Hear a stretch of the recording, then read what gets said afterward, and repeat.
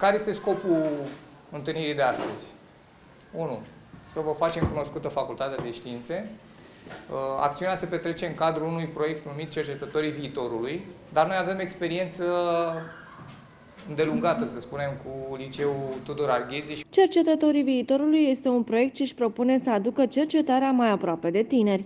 Astăzi, reprezentanții departamentelor de fizică și informatică au prezentat informații și au făcut demonstrații cu echipamentele din laboratoare. Suntem uh, deja într-o lungă tradiție de colaborare cu Universitatea din Craiova, cu Departamentul de Fizică în mod special al Facultății de Științe, de data aceasta și cu Departamentul de Informatică. Copiii care sunt prezenți la această activitate sunt elevi de clasa 12 și clasa 10 profil real.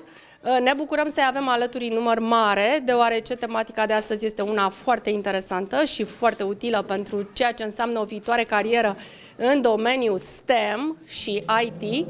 Sperăm să fie interesați, sperăm ca o parte dintre ei să regăsească între viitorii Um, studenți ai acestor facultăți și de altfel ne mândrim uh, an de an cu rezultatele copiilor noștri la examenul de bacalaureat și mai mult de 95% din absolvenții liceului nostru urmează studii universitare. Vom vedea experimente multe, vom uh, afla uh, provocările și pericolele internetului și sper eu să plece fiecare dintre ei mai bogați Uh, în uh, informații și în experiență educațională. Dintre serviciile importante al internetului este uh, partea de web.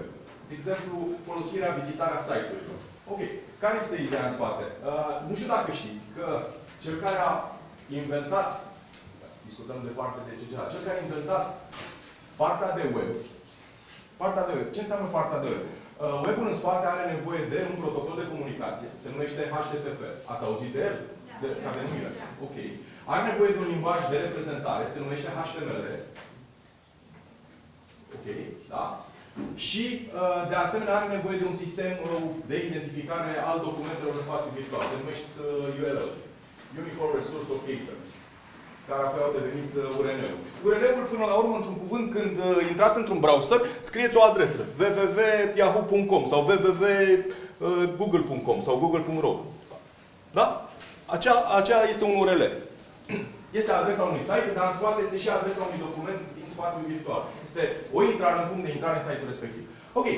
Deci, cel care a inventat aceste lucruri se numește Tim Berners-Lee și ca idee era fizician, informatician, angajat, de asta am pus și imaginea de aici, la uh, CERN.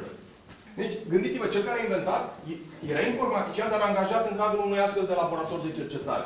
Scopul lui era următorul. Sunt foarte multe documente, uh, rapoarte de cercetare, experimente, care erau documentate pe hârtie. Și a zis, domnule, cineva, un cercetător, când vrea să uh, beneficieze de experiențele altora, experiențele, experimentele, și vrea să citească, ce trebuie să facă? Să ducă la bibliotecă, trebuie să caute. Deci, nu putem să folosim calculatoarele ca să ne fie mai ușor. Atunci, ideea lui a fost să încercăm să punem documentele într-un spațiu virtual, să facem legături între ele, legăturile fiind acele linkuri, URL-uri ca să putem să navigăm și să putem foarte ușor să ne descurcăm mai bine în acest hățiș de uh, informații. Deci acestea au fost ideile lui. Ionii din interior de Mercur sunt excitați și practic apare lumina. Aici. Aceasta este o bobină Tesla muzicală. Muzical. Deci dacă observăm, dăm drumul la o melodie.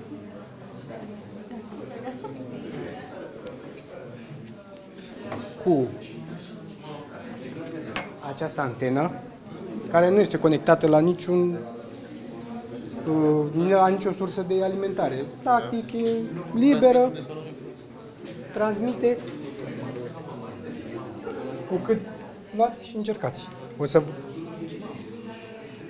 o să se vadă și un pic de plasmă în